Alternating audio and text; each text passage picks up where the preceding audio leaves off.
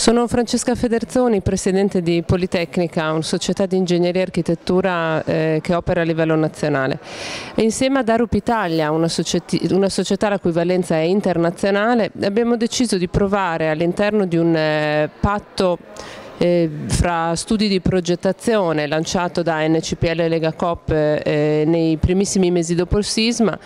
eh, una mh, mm, progettazione integrata a livello di area vasta in modo tale che eh, si possa riportare esperienze internazionali fatte da Arup in Cile anche a livello del sisma emiliano-romagnolo